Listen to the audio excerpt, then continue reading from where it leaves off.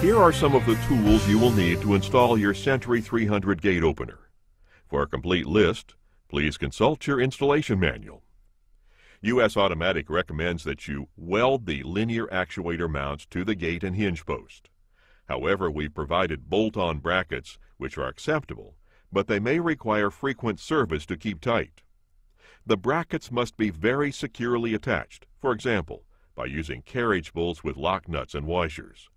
We do not recommend that you use lag-type bolts, as they will loosen easily. And loose or unstable linear actuator mounts will result in the improper operation of the gate opener. Here are some important cautions to consider.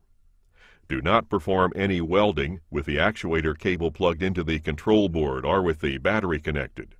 This could result in serious damage to the control board and or the battery. You can use the control box as a template to determine the mounting screw location.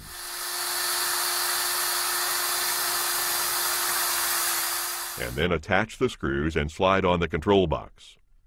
Do not attempt to hold the control box in place while you drill the mounting holes.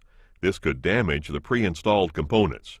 And Make sure to always disconnect the battery power from the control board by using the plug and go harness prior to wiring any devices to the control board.